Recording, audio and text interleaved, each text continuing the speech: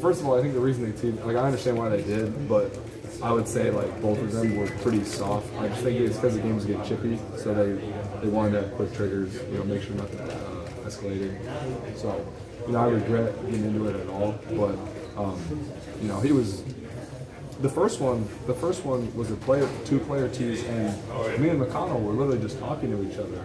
Like we weren't even, we weren't talking trash. We weren't saying any, you know, swear words, not to. And then he just teed both me and him up. The second one, I maybe deserved a little bit more because we bumped each other, but like still, he was talking. He had pissed me off because he was talking earlier in the game. He was like yelling at the ref, like he's a dirty player, like he's a. Dir-. I'm like, bro, like he literally got ejected like two games ago for punching somebody in the face, and he's saying I'm dirty. I'm like, okay. So then I got and he and you go back and check the tapes. He tried to trip Kris in the first half when Kris is on the uh, we had a fast break. He tried to trip Kris, and he tried to trip him, and then he dove at his legs at the end of the game. So realistically, I'm probably getting tossed either way because uh, at the end of the game, it sounds like he tried to take Kris's leg. I, I missed it because um, my, my phone wouldn't load in the locker room, but.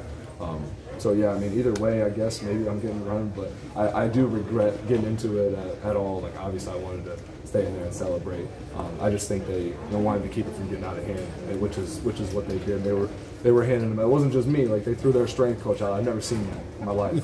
never seen that. So